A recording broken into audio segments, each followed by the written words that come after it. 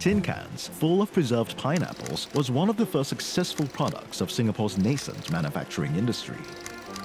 In the late 1800s, pineapples grew in abundance throughout Malaya.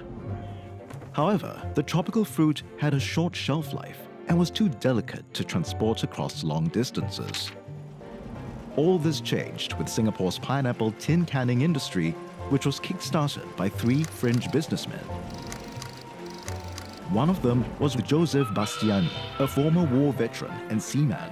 He and his brother started a pineapple cannery at High Street. Eventually, they were producing up to 5,000 cans of pineapples each day. Local businessmen followed suit, only they did so on a larger scale.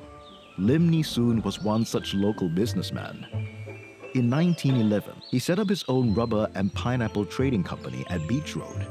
He acquired land around the Seletar River, or present-day Yishun, where he grew pineapples amidst slower-growing rubber trees.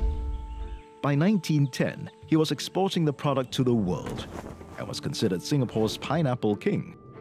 Despite Lim Nee Soon's success, pineapples were still considered a secondary crop to rubber. This changed when the Great Depression hit in the 1930s. As the rubber industry collapsed, so too did pineapples. Then, another local entrepreneur, Lee Kong Chian, made pineapples a primary crop.